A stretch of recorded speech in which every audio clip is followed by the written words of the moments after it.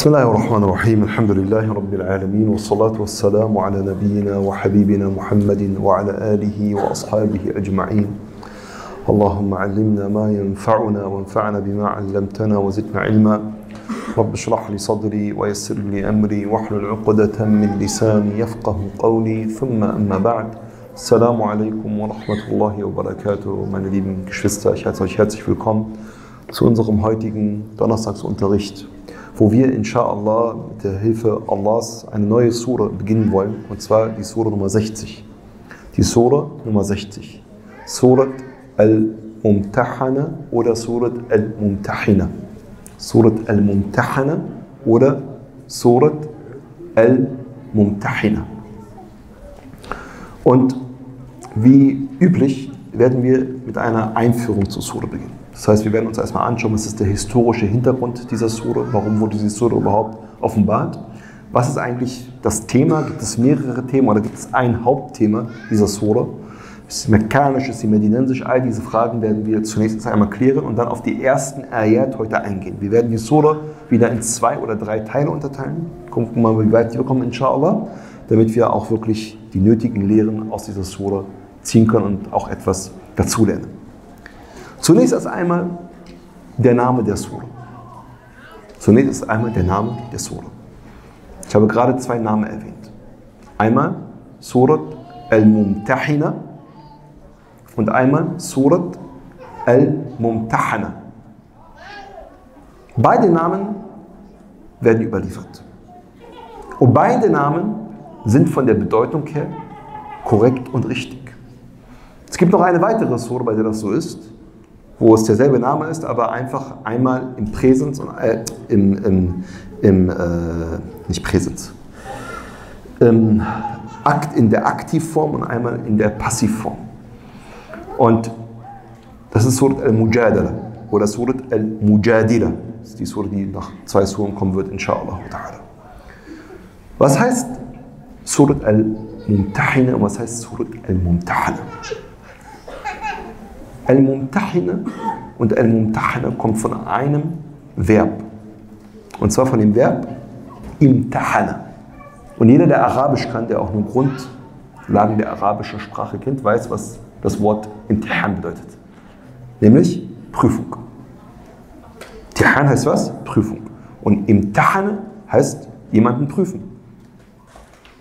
Und dementsprechend ein Mumtahin oder ein Mumtahan ist jemand, der prüft, also ein Prüfer oder der Geprüfte. Und Mumtahina, Mumtahana ist die weibliche Form von Prüfer oder geprüft. Also ein geprüfter, eine geprüfte Frau, dann heißt es Al-Mumtahana. Oder eine Prüfende, dann ist es was? Al-Mumtahina. Wenn ich von Al-Mumtahina, die Prüfende, spreche, wer ist damit gemeint? Wer prüft hier eigentlich?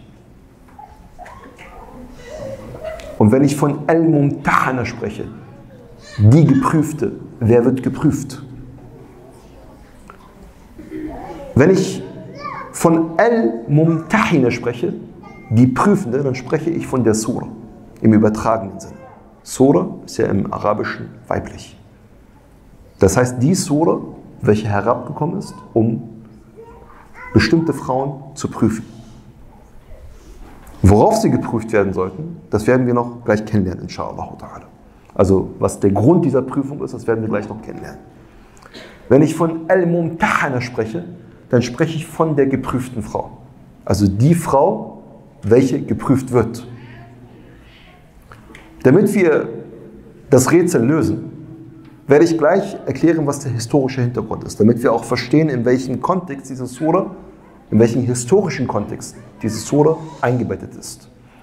Und in welcher Zeit diese Sura auf den Propheten sallallahu alaihi wasallam herabgekommen ist.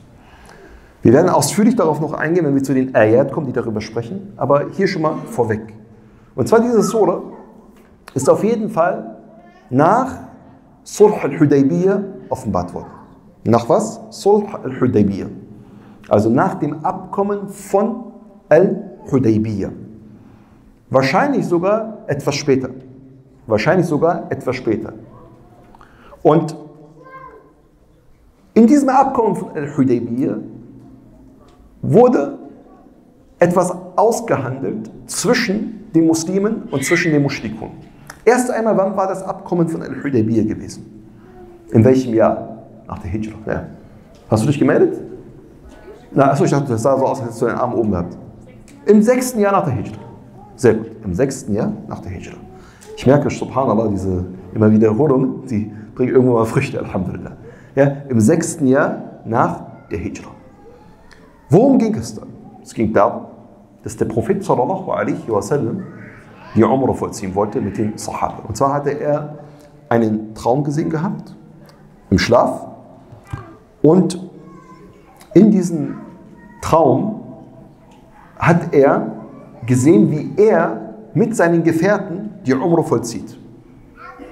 Wir müssen natürlich wissen, dass der Prophet wasallam nach seiner Hijra nicht mehr Mekka besuchen konnte, weil er zwischen ihm und den Mushrikun in Mekka, den Polytheisten, den Quraysh in Mekka, Krieg bestand.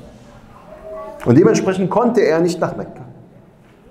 Und jetzt sah er diesen Traum und machte sich dann nach der Grabenschlacht, wo 10.000 Kämpfer von unterschiedlichen Stämmen Medina belagert hatten und Allah subhanahu wa ta'ala ihnen ihren Plan zunichte gemacht hat und die Muslime sich jetzt gestärkt fühlten, machte er sich auf dem Weg mit über 1000 Sahabis, circa, glaube ich, soweit ich mich entsinnen kann, 1400 und etwas mehr, auf dem Weg nach Mekka, um die Umrah zu vollziehen. Und sie hatten die Ihram-Kleidung an, kannte diese beiden Tücher, sodass jeder wusste, ah, Sie befinden sich auf dem Weg zur Umrah. Und Mekka ist ein Wallfahrtsort gewesen, zu dem jeder pilgern konnte, unabhängig davon, ob er mit den Quraysh befeindet war oder nicht. Jeder konnte dorthin pilgern. Und die Quraysh, sie mussten versichern, dass jeder und garantieren, dass jeder, der nach Mekka kommt, auch friedlich und sicher die Umrah vollziehen kann und keine Angst haben muss um sein Leben. Deswegen befanden sie sich ja was? Im Bereich des Harams, im geschützten Bezirk. Und der Haram war ein Bezirk gewesen, wo niemand Blut vergießen durfte. Selbst wenn du auf den Mörder deines eigenen Vaters stoßen solltest, dürftest du ihm nichts antun, weil es ein geschützter Bezirk ist. Wir haben gestern im MBS beim Unterricht über Monat Rajab gesprochen. Da ging es ja um den Monat. Aber Mekka an sich ist das ganze Jahr über ein geschützter Bezirk. Dieser Haram-Bereich. Und der Prophet sallallahu alaihi wasallam, er hat sich natürlich darauf gestützt, dass wenn er dorthin geht, um die Umrah zu vollziehen, dass ihn niemand davon abhalten wird. Aber es sollte anders kommen. Und zwar die Quraysh, sie haben ihn abgehalten. Sie haben ihn nicht erlaubt, Mekka zu betreten. Und wo haben sie ihn abgehalten? Außerhalb des Harams. Nämlich wo? An einem Ort mit dem Namen Al-Hudaybiyah.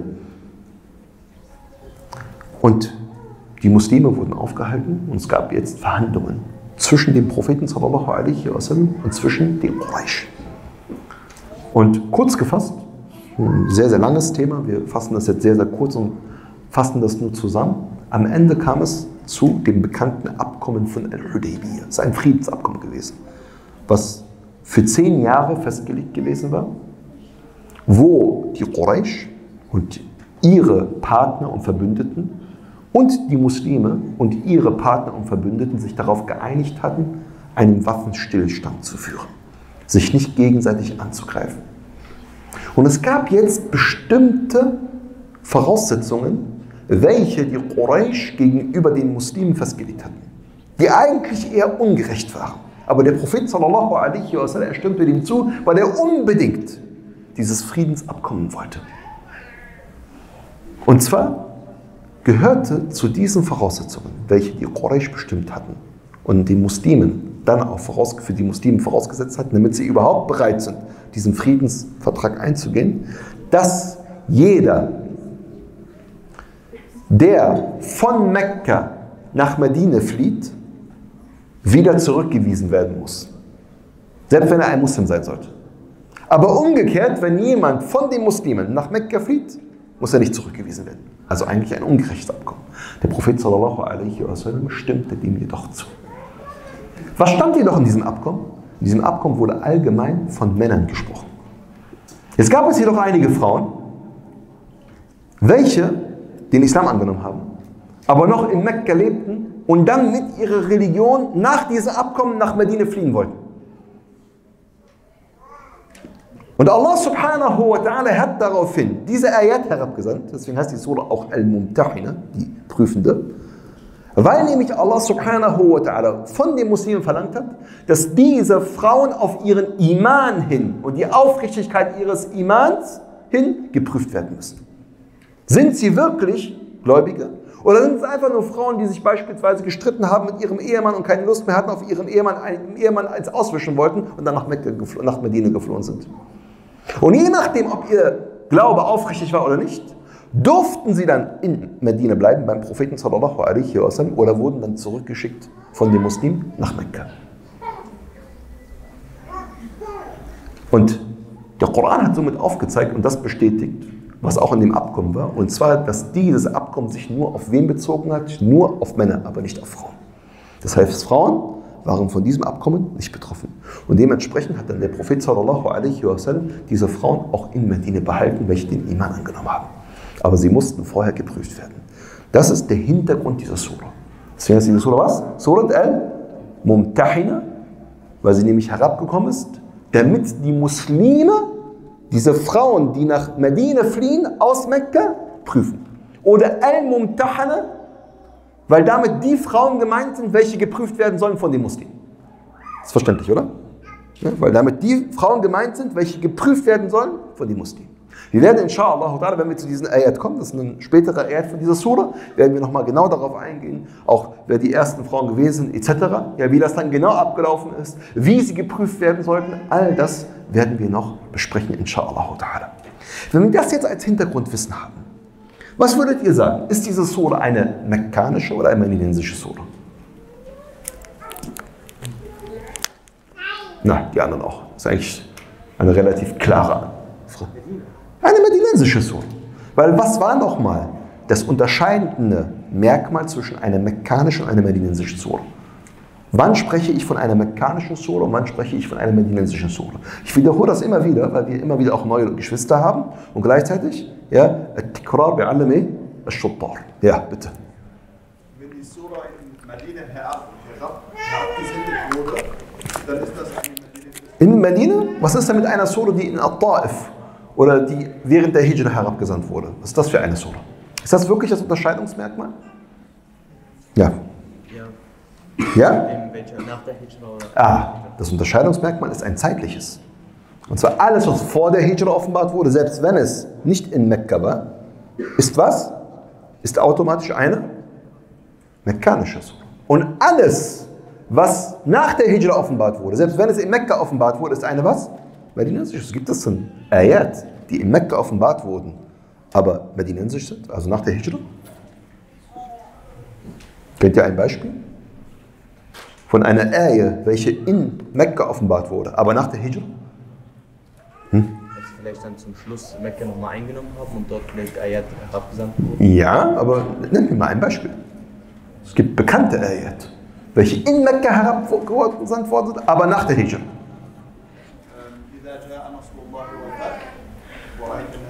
Ja, ich weiß gar nicht, ob das in Mekka offenbart wurde, dieses Surah. Ich bin mir da gar nicht so sicher. Ich glaube, das war sogar dann in Medina, aber ich bin mir nicht sicher. Kann aber sein, ich bin mir nicht sicher. Ich sage nur, ich weiß es nicht genau. Aber es gibt eindeutige Ayat. Ja, das kann aber auch sein, dass es dann sozusagen in Medina offenbart wurde. Bera wurde teilweise auch in Medina offenbart. Ja, aber Ali ibn Abi Talib sollte das ja dann vorlesen und Abu Bakr as-Siddiq bei seiner Hajj. Und zwar, اليوم أكملت لكم دينكم وأتممت عليكم نعمتي ورضيت لكم الإسلام دينا. Heute habe ich euch eure Religion vervollkommnet. Und habe meine Gnade an euch vollendet und bin mit dem Islam für euch als Religion zufrieden. Omar ibn Khattab sagte, ich weiß ganz genau, an welchem Ort und zu welcher Uhrzeit und an welchem Tag diese Ayah herabgesandt wurde. Und zwar am Tag von Arafah, als der Prophet sallallahu alaihi wasallam in Arafah stand. Ja? Während er dort stand, hat Allah subhanahu wa ta'ala diese Ayah herabgesandt. Subhanallah. Ja, das ist also eine medinensische Ayah, die aber in Mekka offenbart wurde. Ein weiteres Beispiel. In äh, Surah Al-Fath, teilweise, teilweise. Ja? Aber was eindeutig offenbart wurde, ist beispielsweise, Allah ya'murukum an tu'addu al-amanati ila ahliha. Wa idha hakamtum bayna an-nasi an tahkumu bil adl. Allah äh, befiehlt euch, die euch anvertrauten Güter ihren Inhabern zurückzugeben. Und wenn ihr unter den Menschen richtet, dass ihr mit Gerechtigkeit richtet. Wo wurde diese Eier herabgesandt? Weiß jemand? An einem ganz besonderen Ort. Das ist die einzige Eier, die an diesem Ort herabgesandt wurde. Mitten in der Kaaba. Mitten in der Kaaba, in Mekka, aber nach der Eroberung von Mekka. Warum? Weil nämlich Ali ibn Abi Talib radiallahu anhu, dem Propheten sallallahu alaihi wasallam vorgeschlagen hat, O Gesandter Allahs, lass uns doch den Schlüssel der Kaaba auch bei uns behalten, in unserer Familie, in Banu Hashim. Dann haben wir nicht nur sozusagen die Ehre, dass wir die Pilger tränken können, weil das war sozusagen die Ehre der, der Banu Hashim gewesen, der Familie des Propheten, sondern wir haben auch noch was? Sadanatul Bayt. Wir sind auch noch verantwortlich, was? Für den Schlüssel der Kaaba. Und dann kam Uthman ibn Maz'un. Und Uthman ibn Maz'un, er gehörte dem Stamm an, der verantwortlich war für den Schlüssel der Kaaba. Und er sagte, ja Rasulullah, das ist unser Recht. Woraufhin Allah Ta'ala diese Ayah herabsandte, als der Prophet sallallahu alaihi in der Kaaba drin gewesen war. Allahu Akbar. Das sind zwei Beispiele, zwei Beispiele für Ayat, welche medinensisch sind, aber nach der Hijra. Das heißt, nach, äh, in Mekka offenbart wurden. In Mekka offenbart wurden. Dann haben wir das auch nochmal. Also ist eindeutig was, es handelt sich hierbei eindeutig um was? Um eine medinensische Sura. Gut. Was ist das Hauptthema der Sura? Das Hauptthema der Sura ist ein sehr, sehr wichtiges Thema. wir werden gleich auch auf den, einen Offenbarungsanlass eingehen. Und zwar das Hauptthema der Sura ist Al-Wala wal-Bara. Das Hauptthema der Sura ist was? Al-Wala wal-Bara. Was heißt das? Al-Wala oder Al-Muwala, Muwalatul Kafirin, bedeutet so viel wie, dass ich Loyalität habe gegenüber Nicht-Muslimen, welche den Islam bekämpfen oder sie mir zu Schutzherren nehme. Das ist was? Al-Wala. Und Al-Bara bedeutet, dass ich mich lossage von ihnen. Und diese Sura, die gesamte Sura behandelt genau dieses Thema. Also in 13 Versen, diese Sura ist 13 Verse lang. Das sind alles etwas längere Verse. Das sind auch Merkmale einer medinensischen Sura. Behandelt dieses unglaublich wichtige Thema. Nämlich, wann ich als Muslim Schutzherren haben darf von Nicht-Muslimen und wann ich mich als Muslim von ihnen lossagen muss. Und wir werden inshallah ta'ala ausführlich darauf eingehen, während wir über diese Sura sprechen. Weil diese Sura behandelt dieses Thema sehr, sehr genau und sehr detailliert, aber gleichzeitig auch sehr differenziert. Das heißt, wer dieses Thema Al-Wala wal-Bara, über das viel gesprochen wird unter den Muslimen, richtig verstehen möchte, möchte, der muss sich eigentlich nur diese Sura anschauen. Und dort wird er es verstehen, weil dort wird es sehr differenziert und sehr detailliert auch beschrieben. Und dann wird es ganz klar aufgezeigt, zu wem darfst du loyal sein und enge Kontakte hegen unter den Nicht-Muslimen und von wem musst du dich ganz klar und deutlich absagen, Verlust sagen und gleichzeitig dich auch in Acht nehmen vor ihnen. Das werden wir in dieser Surah inshallah lernen. Und wir werden sehen, dass der Islam, Alhamdulillah, eine Religion ist, welche hier wieder den Weg der Mitte eingeht. Weder in das eine Extrem fällt, du darfst gar keinen Kontakt zu anderen Menschen haben, die dem Islam nicht angehören. Du musst dich von allen los sagen, alle musst du verfluchen, wie es leider auch einige Muslime behaupten. Es gibt einige Muslime, die sagen, du darfst keine Freunde unter Nicht-Muslime. Komplett verboten, haram. Du musst jeden Nicht-Muslim hassen. Du musst dich von ihm lossagen mit deinem Herz. Ja, du musst im Grunde genommen schon, wenn du ihn siehst, ihn innerlich verfluchen. Und dementsprechend gibt es einige, unserer Geschwister, ja, die merkst du in ihren Blicken, dass sie Hass haben auf Menschen. Und diesen Hass den übertragen sie sogar auf ihre eigenen Glaubensgeschwister, die nicht so denken wie sie. Weil sie sagen, ah, guck mal, das ist richtiger hier, der versucht es so den Kuffar ja, äh, recht zu machen, damit sie mit ihnen zufrieden sind und sind dann genauso grimmig ihnen gegenüber, wie gegenüber den Kuffar in Anführungsstrichen. Und auf der anderen Seite hast du welche, die überhaupt keinen Unterschied mehr machen zwischen Muslimen und Nicht-Muslimen. Alle sind gleich, wir müssen alle gleich behandeln, wir müssen äh, zu allen freundlich sein, selbst wenn sie den Koran verbrennen, kein Problem, ja, wir müssen sie trotzdem lieben. Und wir müssen trotzdem versuchen, den Kontakt zu ihnen aufrecht zu erhalten. Ist das wirklich so? Der Islam, Alhamdulillah, er ist sehr differenziert und unterscheidet ganz klar zwischen den Menschen und zeigt uns auf, ganz klar, wie wir mit den unterschiedlichen Gruppen innerhalb der Gesellschaft umzugehen haben. Dass wir hier ein sehr, sehr gesundes und ausgeglichenes Verhältnis zu unseren Mitmenschen haben, unabhängig davon, ob sie Muslime sind oder nicht Muslime sind. Beginnen wir inshallah mit der ersten Eier. Mit der ersten Eier, die eng gebunden ist an einen sogenannten Sabab Nuzul, an einen Offenbarungsanlass. Und dieser Offenbarungsanlass ist sehr wichtig, weil wir aus ihm nämlich sehr viel lernen können, wie der Prophet sallallahu alaihi wasallam mit Leuten umgegangen ist, die einen Fehler gemacht haben unter den Muslimen. Schauen wir uns mal diese erste Ayah an. Das ist eine etwas längere Ayah. Wir hören uns diese Ayah erstmal komplett an und dann gehen wir inshallah ta'ala erst einmal auf den Offenbarungsanlass ein und dann schauen wir uns diese Ayah etwas genauer an. Und zwar beginnt diese Ayah wie folgt. يا أيها الذين آمنوا لا تتخذوا عدوي وعدوكم أولياء تلقون إليهم بالمودة وقد كفروا وقد كفروا بما جاءكم من الحق يخرجون الرسول وإياكم أن تؤمنوا بالله ربكم وإياكم أن تؤمنوا بالله ربكم إن كنتم خرجتم, خرجتم جهادا في سبيلي وابتغاء مرضاتي تسرون إليهم بالمودة وأنا أعلم بما أخفيتم وما أعلنتم ومن يفعله منكم فقد ضل سواء السبيل. سبحان الله. Oh, die ihr glaubt. Nehmt nicht meine Feinde und eure Feinde zu Schutzherren, indem ihr ihnen Zuneigung entgegenbringt, wo sie doch das verleugnen, was von der Wahrheit zu euch gekommen ist, und den Gesandten und euch selbst vertreiben, weil ihr an Allah, euren Herrn, glaubt. Nehmt sie nicht zu Schutzherren wenn ihr wirklich ausgezogen seid zum Abmühen auf meinem Weg und im Trachten nach meiner Zufriedenheit. Tut das nicht, indem ihr ihnen heimlich Zuneigung zeigt, wo ich doch besser weiß, was ihr verbergt und was ihr offenlegt. Und wer von euch das tut, der ist für wahr vom rechten Weg abgeirrt. Boah, lange Ehe. Lange Ehe. Eine Ehe, in der Allah subhanahu wa ta'ala die Gläubigen anspricht. Wer ist mit dieser Ayah gemeint und warum hat Allah Ta'ala diese Ayah herabgesandt? Wir sehen, es, die Ayah ist sehr ausführlich, geht auf sehr viele einzelne Punkte ein. Und all diese Aspekte, meine geehrten Geschwister, haben etwas zu tun mit einem Ereignis kurz vor der Eroberung von Mekka. Kurz vor der Eroberung von Mekka, deswegen habe ich ja gesagt gehabt, diese Sura ist herabgesandt worden, teilweise nach Al-Hudaybiyah und kurz vor der Eroberung von Mekka. Wann war die Eroberung von Mekka gewesen? Fatih Mekka, wann war das gewesen?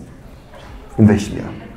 Das sind so Eckdaten, die ihr euch immer merken müsst. Ihr müsst alle wissen, wann ist, Surat, wann ist die Ghazwa von Badr gewesen?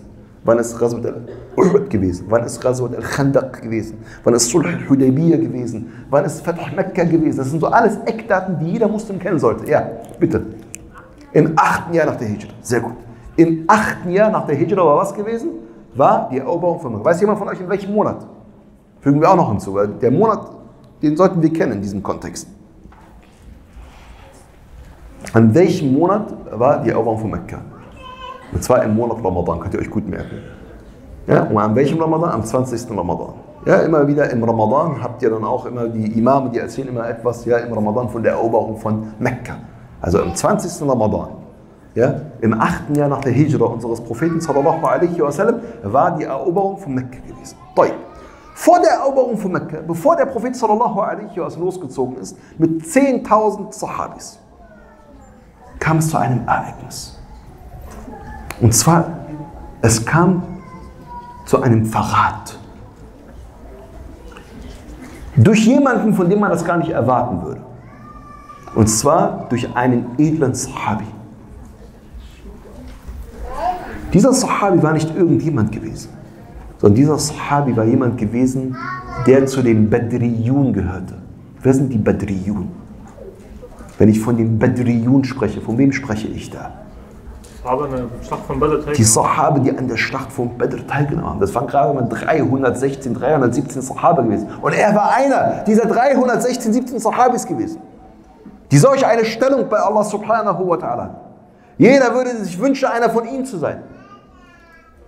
Aber es ist ihm ein gewaltiger Fehler unterlaufen. Aufgrund von menschlicher Schwäche. Wie hieß dieser Sahabi? Weiß es jemand vielleicht? Welcher Sahabi das war, von dem wir sprechen? Schreibt euch das auf, inshallah, damit ihr das nicht vergesst. Und zwar der Sahabi Hatib ibn Abi Balta'a. Merkt euch das. Hatib ibn Abi Balta'a. Hatib ibn Abi Balta'a war ein aufrichtiger, edler Gefährte gewesen. Er gehörte auch zu den, wie gesagt, Muhajirun. Nur, das Problem war gewesen, er war nicht wirklich Qurashid gewesen sondern er ist später nach Mekka dazugezogen. Und dementsprechend hatte er keine Familie in Mekka gehabt. Und er hatte die Befürchtung gehabt, wenn jetzt die Muslime nach Mekka ziehen, dann könnte es zu einem Kampf kommen. Es könnte zu einem Kampf kommen. Und wenn es zu einem Kampf kommen sollte, dann könnte seine Familie betroffen sein. Warum? Weil seine Familie hat niemanden, der sie beschützen könnte. Keinen Stamm, der sie beschützen kann. Und er bekam Angst. Er hatte auch Vermögen in Mekka gehabt. Er hatte Angst, dass eventuell dieses Vermögen dann, wie gesagt, komplett enthanden kommen könnte. Und dementsprechend machte er jetzt einen großen Fehler. Er schrieb einen Brief im Geheimen und schickte diesen Brief mit einer Frau mit, die nach Mekka ging, damit er seine Familie warnt. Was ist das? Wie nennt man sowas? Hochverrat, das ist ein gewaltiger Hochverrat, das sind militärische Geheimnisse. Ja, da will zu jemanden angreifen, ja, einen sozusagen, oder dass er Bescheid weiß, und dann schickt jemand, ein Spion, dann eine Nachricht, und die Leute sind vorbereitet. Es hätte in einem Blutbad enden können für die Muslime. Aber subhanallah, hier kommt was? Die Inayatullah, der Schutz Allah subhanahu wa ta'ala. Und zwar Allah Ta'ala, er benachrichtigt unseren Propheten sallallahu alaihi wasallam, dass Hatib ibn Balta'a diesen Brief mit einer Frau mitgeschickt hat. Was macht unser Prophet sallallahu alaihi wasallam? Er schickt jetzt Ali ibn Abi Talib direkt mit Az-Zubayr ibn Awam dieser Frau hinterher. Und er sagt, eilt und haltet diese Frau auf. Warum? Sie hat nämlich ein Schreiben, was sie den Quraysh übermitteln soll. Und sie reiten ihr hinterher und halten sie auf. Die Frau beschwört, ich habe wirklich nichts. Wie kommt ihr darauf? Nein, ich habe nichts, lasst mich gehen. Ali ibn Abi Talib sagt ihr ganz klar, du hast zwei Möglichkeiten. Entweder du rückst jetzt mit dem Schreiben heraus oder wir werden dich komplett ausziehen. Knallhart. Das ist unsere Aufgabe. Die Frau merkt, es ist ernst. Die machen keinen Spaß. Ich meine, es geht hier um eine große Angelegenheit. Und was macht sie? Sie holt aus einem Zopf dieses Schreiben heraus. Und da gibt es Ali ibn Abi Talib. Allahu Akbar. Ali kehrt mit Zubayr ibn al-Awam zum Propheten zurück, sallallahu alaihi wasallam. Der Prophet sallallahu alaihi wasallam lässt wen rufen? Hatib ibn Abi Balta'a. Wer ist beim Propheten sallallahu alaihi wasallam? Unter anderem Umar ibn Khattab. Der Prophet fragt Hatib, was ist das, O Hatib? Hatib weiß nicht, was er sagen soll und sagt, ja Rasulallah, bei Allah, ich habe das nicht getan, weil ich ein Heuchler bin. Ich habe es nicht getan aus Heuchelei. Ich habe es nicht getan, weil ich vom Islam abgefallen bin, sondern ich habe es getan, weil ich Angst um meine Familie hatte. Ihr habt alle Familie in Mekka, die euch beschützen kann. Aber wer beschützt meine Familie? Amr ibn Khattab wird zornig und sagt, ja Rasulallah, da'ani adrib unuqa hadha al-munafiq. O Gesandter Allahs, lass mich diesen Heuchler um einen Kopf kürzer machen, diesen Verräter. Der Prophet sagt, فَأَمَّا هَذَا فَصَدَقَ Was ihn betrifft, er hat die Wahrheit gesagt. Und dann sagte er etwas sehr Wichtiges. Wisst ihr, was er sagte? Kennt jemand die Aussage des Propheten? Sallallahu alaihi wasallam. Das ist unglaublich wichtig, diese Aussage. Und zwar er sagte, Ja Umar, لعل الله اطلع على أهل بدر فقال اعملوا ما شئتم فقد غفرت لكم. Allahu Akbar. O Umar, was lässt dich wissen? Vielleicht hat Allah subhanahu wa ta'ala auf die Leute von Badrin geschaut. Die Leute, die an der Schlacht von Badr teilgenommen haben. Und zu ihnen gesagt, mach was ihr wollt, ich habe euch vergeben. Und Allah Ta'ala, er hat Hatib vergeben. Aber diese Ayah hat herabgesandt, um die Gläubigen zu warnen. Eine unglaublich wichtige Geschichte. Nur allein aus dieser Geschichte könnten wir einen ganzen Unterricht machen, sogar mehrere Unterrichte, weil wir so viele Lehren daraus ziehen können. Erstens, unser Prophet sallallahu alaihi wasallam, er hat uns gezeigt, man darf niemals vorschnell urteilen. Egal was ist, du darfst niemals vorschnell urteilen. Wie oft passiert es, dass wir als Geschwister in der Gemeinschaft oder auch unter Freunden beispielsweise etwas hören. Dann hören wir etwas über jemanden anderen. Der hat das und jenes getan. Und dann bewahrheitet sich das sogar. Aber ich habe noch nicht mal gehört, warum er das getan hat. Und man fängt an, über ihn zu urteilen. Das ist ein Heuchler, das ist ein Betrüger, er hat das oder jenes getan. Du hast noch nicht mal gehört, warum er das getan hat. Lass ihn doch erstmal zu dir kommen und erklären und dann kannst du immer noch über ihn urteilen. Ich darf also niemals vorstellen über eine Person urteilen, sondern ich muss immer der Person die Möglichkeit geben, sich recht zu fertigen. Und das ist etwas, was heutzutage wirklich ein großes Problem ist. Gerade in einer Zeit, wo wir eine Presse haben, welche nichts anderes zu tun hat, als Menschen vorzuverurteilen. Da wird jemand angeklagt. Der ist noch nicht verurteilt oder irgendetwas. Nur einfach eine Anklage. Das kann im Übrigen jedem passieren. Ein Nachbar klagt dich an. Was willst du machen? Und die Leute fangen schon an, sich den Mund fusselig zu reden. Ah, guck mal hier, habe ich es doch gewusst. Von vornherein kommt alles raus. Warte doch erstmal ab, ob etwas dahinter steckt oder nicht. Vielleicht ist er unschuldig. Es gibt ein Prinzip, der Angeklagte ist so lange unschuldig, solange nicht das Gegenteil bewiesen wird. Und der Koran warnt uns davor, dass wir über Menschen urteilen, ohne dass wir sicher sind, ob sie das wirklich getan haben. Was sagt Allah Ta'ala? Ja, ayyuhalladhina amanu, in ja'akum fasiqun binaba'in fatabayyanu. Oh, die ihr glaubt, wenn zu euch ein Frevel mit einer Nachricht kommt. Ein Unbekannter, ihr wisst nicht, woher das kommt. Die Bildzeitung, ja, BZ, die Welt, ZDF oder weiß ich nicht was. Ja? Fatabayyanu. Oh, vergewissert euch erst einmal. An tusibu qawman bi nicht, dass ihr ein Volk zu Unrecht beschuldigt. Fatusbihu ala ma fa'altum nadimin. Und ihr daraufhin, aufgrund dessen, was ihr getan habt, an Worten geredet habt, verurteilt, vorverurteilt habt, dann das bereuen werdet. Ich muss aufpassen. Der Prophet sallallahu alaihi wasallam, er hat erst einmal gehört, warum hat jemand etwas getan. Dann Nummer zwei, was unglaublich wichtig ist. Wir haben heutzutage die Krankheit, dass sobald ein Mensch einen Fehler macht,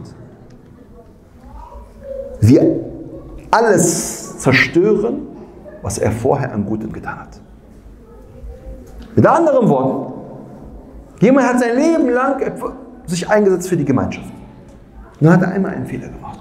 Und gleich fangen wir an zu sagen, na guck mal, der hat nichts gemacht. Wir wussten noch immer, dass er ein Betrüger ist. Allahu Akbar. 10, 20 Jahre lang hat er immer etwas Gutes getan, sich immer eingesetzt für die Gemeinschaft. Und dann ist er einmal ausgerutscht, hat einmal einen Fehler gemacht. Lass uns das doch immer in einen Kontext setzen. Lass uns doch versuchen, für unseren Bruder, für unsere Schwester eine Entschuldigung zu finden. Und nicht alles vergessen, was er vorher an Gutem getan hat. Alhamdulillah, dass die Menschen nicht über uns urteilen, sondern Allah Ta'ala über uns urteilt. Weil würden die Menschen über uns urteilen, hätten wir wirklich ein Problem. Weil die Menschen sind grausam in ihrem Urteil. Allah Ta'ala ist aber nicht nur gerecht, sondern er ist darüber hinaus auch noch barmherzig. Er wiegt alles gegeneinander auf. Ja? Das Gute und das Schlechte. Und nicht nur das Schlechte, einmal was Schlechtes und schon ist alles Gute plötzlich weg. Nein. Und hier müssen wir aufpassen, auch wenn es um Gelehrte geht oder wenn es um Prediger geht. Ich habe immer wieder das Gefühl, dass manche Geschwister, sobald ein Prediger einen Fehler macht, sie gleich sagen, von dem kann ich nichts mehr nehmen. Ja Allah. Es gibt keinen Gelehrten in der Geschichte, der nicht in irgendeiner Weise mal eine Meinung hatte, die andere kritisiert haben. Was sagt Imam Malik? Imam Malik sagt. Von jedem wird angenommen und akzeptiert und abgelehnt. Außer der Inhaber dieses Grabes. Und das wäre unser Prophet sallallahu alaihi wasallam. Prediger, Gelehrte, Imame sind auch nur Menschen, oder? Können auch Fehler machen, können auch mal eine komische Meinung haben, können auch mal vielleicht was Falsches machen. Heißt das deswegen, alles, was er vorher getan hat, schlecht war, weil er einmal einen Fehler gemacht hat oder auch zweimal von mir aus oder dreimal? Nein. Aber das lehrt uns etwas, dass wir grundsätzlich aufpassen müssen mit Personenkult. Unser Problem heutzutage ist, entweder jemand ist heilig, macht gar keine Fehler, oder jemand ist ein Shaitan und macht nichts Gutes. Dazwischen gibt es nichts. Ja, so Graustufen gibt es nicht. Kann es nicht sein, dass jemand, Alhamdulillah, im Großen und Ganzen Gutes tut, aber vielleicht ein paar Sachen gemacht hat oder ein paar Aussagen gemacht, die nicht so schön waren? Lass uns doch das Gute sehen und ihn entschuldigen für das Schlechte, was er getan hat. Such eine Entschuldigung für deinen Bruder. Such eine Entschuldigung für deinen Sheikh. Such eine Entschuldigung für den Imam. Es kann immer eine Situation geben, wo man mal ausrutscht, wo man einen Fehler macht. Dann such eine Entschuldigung für ihn. Gerade dann, wenn du weißt, dass seine Historie eigentlich grundsätzlich positiv ist und dass durch ihn viel Positives in dieser Umwelt bewirkt wurde. Das ist wichtig und das, ist das, das sollte unsere Einstellung sein. Gegenüber allen Menschen, aber auch gerade gegenüber unserem Vorbild in der heutigen Zeit. Dann, unser Prophet sallallahu alaihi wasallam, er hat uns aufgezeigt, dass wir nicht vorstellen, urteilen dürfen über andere. Das Wort Heuchler, Omar ibn Khattab, gleich, er ist ein Heuchler. Der Prophet hat gesagt, nein, so einfach ist das nicht.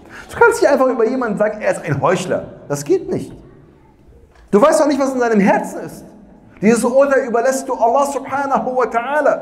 Und unser Prophet sallallahu alaihi wa sallam hat das immer wieder getan. Immer wieder gab es Situationen, wo Leute gesagt haben, das ist ein Heuchler und der Prophet sallallahu alaihi wa sallam hat seine positiven Eigenschaften hervorgehoben. Und das sollten wir auch tun. Wenn ich sehe, dass jemand über einen anderen redet, schlecht redet, sagt er ist ein Heuchler, er ist ein, weiß ich nicht was, sollte ich versuchen, die positiven Eigenschaften dieser Person hervorzuheben. Weil das ist was, worauf es ankommt. Ja, also eine sehr, sehr wichtige Geschichte, welche wir hier haben von Hatab ibn Abi Balta. Lass uns jetzt einfach diesen ersten Vers anschauen und dann heute, inshallah, damit uns auch begnügen, damit wir nächste Woche dann mit der gesamten Sura weitermachen können. Zwar Allah subhanahu wa ta'ala, er spricht jetzt hier die Gläubigen an. Und er sagt, oh, die ihr glaubt, nehmt nicht meine Feinde und eure Feinde zu Schutz her. Sehr wichtig. Warum hebt es Allah ta'ala hervor? Meine Feinde und eure Feinde. Weil ich als Mu'min mir die Menschen zu Feind nehmen sollte, die Allah sich zum Feind genommen hat. Und die Menschen zum Freund nehmen sollte, die Allah sich zum Freund genommen hat. Mein Maßstab für gut und schlecht, für Freund und Feind ist immer wer? Ist der Koran. Das, was Allah festgelegt hat. Das ist mein Maßstab. Und danach gehe ich nach diesem Maßstab. Er begleitet mich mein ganzes Leben in all meinen Beziehungen. In all meinen Beziehungen. Deswegen, was sagt unser Prophet sallallahu alaihi wasallam? Er sagt etwas sehr Wichtiges. Ein wichtiger Hadith, der wichtig ist für unseren Iman. Er sagt, Iman. Der stärkste Knoten des Iman ist welcher Knoten? Weiß es jemand, welcher Knoten ist das? Al-Hubbu fillah wal-Bughdu fillah. Die Liebe in Allah und das Hassen in Allah. Ja, ich liebe in Allah ich liebe einen Menschen, der Allah liebt, der Allah nahesteht, der Gutes tut. Und ich verabscheue einen Menschen, der Schlechtes tut, der sich gegen die Gebote Allahs wendet. Automatisch. Das ist mein Maßstab. Und nach diesem Maßstab sollte ich mein Leben lang gehen. Und das heißt, der stärkste Knoten des Iman. Was sagt unser Prophet sallallahu alaihi wasallam ebenfalls? Er sagt, Wenn man drei Dinge verinnerlicht hat, wird man die Süße des Glaubens verspüren. Was sind diese drei Dinge? Das sind genau diese Maßstäbe. Dass man Allah und seinen Gesandten mehr als alles andere liebt. Dass man eine Person ausschließlich für Allah liebt.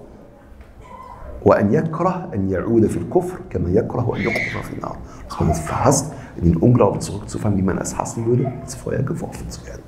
Ganz klare Maßstäbe, welche aber meinen Iman festigen und sogar mich eine Süße spüren lassen durch meinen Iman. Und deswegen Allah Ta'ala sagt, mein Feind und euer Feind. So sollte die Einstellung des Mu'mins sein. Und dann sagt er, nehmt nicht meine Feinde und eure Feinde zu Schutzherren, indem ihr ihnen Zuneigung entgegenbringt. Tulquna ilayhim bil mawadda. Und dieses Wort Tulquna ist in diesem Zusammenhang sehr wichtig. Und die Gelehrten sagen, mit Tulquna ist hier gemeint, ihr werft ihnen Zuneigung entgegen. Ihr macht das nicht absichtlich, weil Allah entschuldigt hier diesen Hatib ibn Abi Balta. Ihr macht es, weil ihr mit ihnen verwandt seid, weil es eure Familie ist, weil ihr eine enge Beziehung zu ihnen habt und deswegen seid ihr schwach geworden. Und nur aus diesem Grund tut ihr das. Tulquna ilayhim bil mawaddati indem ihr ihnen Zuneigung entgegenbringt. Ihr habt das nicht mal absichtlich gemacht. Und trotzdem müsst ihr die Maßstäbe einhalten, die Allah festgesetzt hat. وَقَدْ كَفَرُوا بِمَا جَاءَكُم مِنَ الْحَقِّ Wo sie doch das verleugnen, was von der Wahrheit zu euch gekommen ist. يُخْرِجُونَ الرَّسُولَ وَإِيَّاكُمْ Und den Gesandten und euch selbst vertreiben. Hatib ibn Abi Balta'a wurde doch auch vertrieben, genauso wie der Prophet sallallahu alaihi wasallam vertrieben wurde. Warum versucht ihr dann diese Zuneigung zu zeigen? Allah Ta'ala ertadet Hatib. Und er ertadet jeden, der es ihm gleich macht. An tu'minu billahi rabbikum. Ähm, wo bin ich jetzt hier gerade? Und die Gedanken euch, äh, weil ihr an Allah und euren Herrn glaubt. Das heißt, ihr wurdet nur vertrieben, weil ihr an Allah und an sozusagen äh, euren Herrn glaubt und an den Propheten sallallahu alaihi wasallam. Und dann sagt Allah subhanahu wa ta'ala, nehmt sie nicht zur Schutzherren, wenn ihr wirklich ausgezogen seid zum Abmühen auf meinem Weg und im Tracht nach meiner Zufriedenheit. Also nochmal, wenn du wirklich aufrichtig warst, dann zeig dir diese Aufrichtigkeit, indem du diese Menschen nicht zur Schutzherren nimmst. Was heißt denn jetzt Schutzherr? Das Wort Schutzherr ist jetzt hier in diesem Kontext sehr, sehr wichtig. Das Wort Wali, das Wort Wali, Awliya, der Plural ist Awliya. Was heißt dieses Wort? Wali hat zwei Bedeutungen. Einmal Schutzherr und Schutzbefohlener. Schutzherr und Schutzbefohlener. Also ein Wali kann ein Schutzherr sein, aber kann auch ein Schutzbefohlener sein. Also es kann die gegensätzliche Bedeutung haben. Und was ist damit gemeint mit Schutzherr und Schutzbefohlener?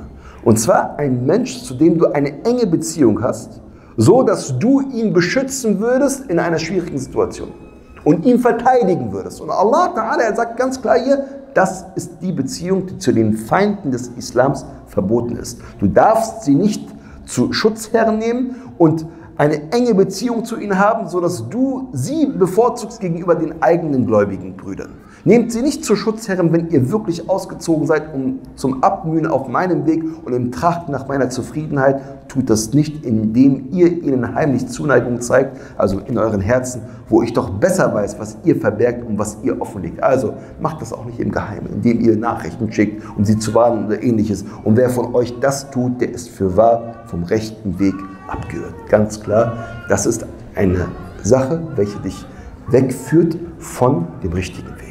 Und worauf, und dann komme ich auch zum Ende, inshallah wie können wir das auf unsere heutige Zeit beziehen? Inwiefern kann ich diese Ehe auf meine heutige Zeit umsetzen? Und gibt es Leute, die auch heutzutage so etwas tun? Ja, gibt es. Und zwar Muslime, welche versuchen, Kontakte und enge Beziehungen zu Menschen und zu Parteien oder zu Gruppen aufzunehmen, welche eindeutig den Islam bekämpfen. Eindeutig den Islam bekämpfen. Aus den unterschiedlichsten Gründen. Und davon haben wir sehr, sehr viele Beispiele heutzutage.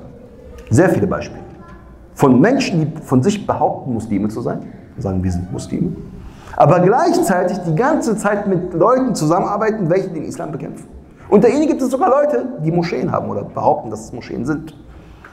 Und die ganze Zeit nur mit Gruppen zusammen sind, welche tagtäglich gegen die Muslime in dieser Gesellschaft sitzen. Ob es die AfD ist oder ob es irgendwelche rechten Gruppen sind oder ob es irgendwelche Islamkritiker sind. Und dann aber trotzdem immer noch behaupten, wir sind Muslime. Das ist die verbotene Muala. Das, was Allah da eindeutig und klar verboten hat. Und hier muss ich für mich als Muslim ganz klar Grenzen setzen. Nochmal wichtig, wir werden das nächste Woche sehen, inshallah. Das heißt nicht, dass ich keinen Kontakt haben darf zu Nicht-Muslimen.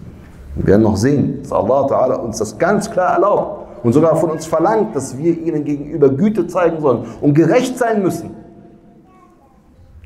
Aber hier müssen wir eine ganz klare Linie ziehen. Und jeder Muslim muss bewusst sein, wer diese Linie überschreitet, der kommt vom richtigen Weg ab. Möge Allah subhanahu wa ta'ala uns davor bewahren.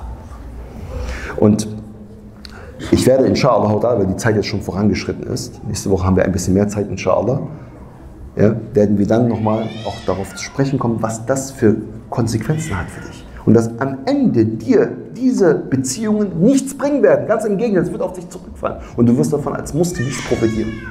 Weil deine Feinde werden dich am Ende als Muslim behandeln. Selbst wenn du sie die ganze Zeit über gut behandelt hast, sie werden dich am Ende als Muslim behandeln und werden keinen Unterschied machen zwischen dir ja, und den anderen Muslimen, die den Islam praktizieren. Aber dazu dann nächste Woche mehr, inshallah ta'ala. سبحانك اللهم وبحمدك نشهد ان لا اله الا انت نستغفرك ونتوب اليك بسم الله الرحمن الرحيم والعصر ان الانسان لفي خسر الا الذين امنوا وعملوا الصالحات وتواصوا بالحق وتواصوا بالصبر